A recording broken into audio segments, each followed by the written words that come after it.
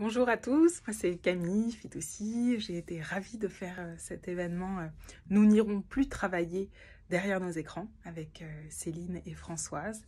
Déjà, c'était un plaisir de concevoir la pédagogie de, l'atelier. C'est un sujet qui nous a intéressés vraiment toutes les trois.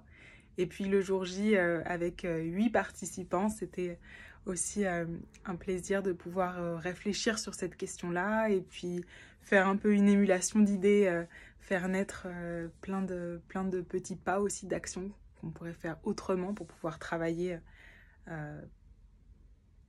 avec des ordinateurs du futur ou imaginer un futur du travail désirable.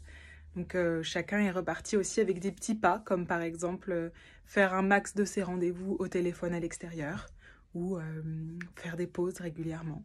Puis on a vu aussi que ça pouvait avoir du bon l'ordinateur. Alors comment est-ce qu'on garde le bon et, on en fait quelque chose de, de profitable à tous. En tout cas, c'était un très bon moment partagé et au plaisir de renouveler l'expérience.